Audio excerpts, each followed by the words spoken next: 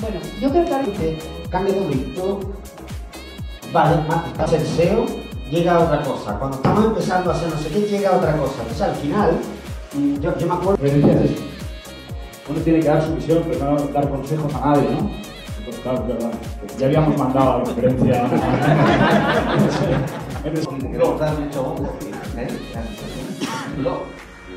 ¿Qué ocurre hoy en día? Que vamos a, venimos aquí a un evento como Marketing Rock y decimos,